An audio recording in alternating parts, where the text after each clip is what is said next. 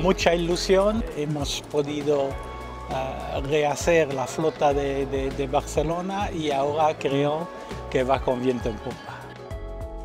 De lo que se trata es de, de divertirse en el mar y de, hacer amigos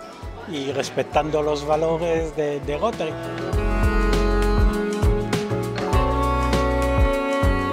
Tenemos ya un proyecto y lo que pensamos es trabajar en tres líneas.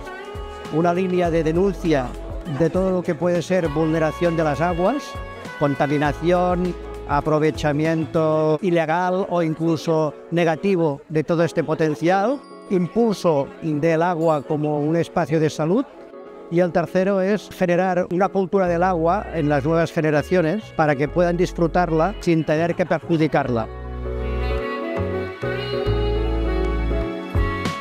Con todas estas aguas turbulentas, este, estos vientos cruzados, la incertidumbre en la que vivimos actualmente, al iniciar estos proyectos yo pienso que es una ocasión de empezar a poner en su lugar las sociedades intermedias creadas por personas, personas ciudadanos que tienen ganas de eh, promover una, actitud de servicio, una, una historia de compañerismo, hacer actividades con ética y con tolerancia y con coherencia.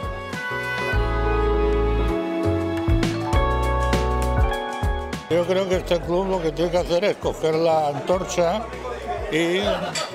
tomar el mando y ponerse a,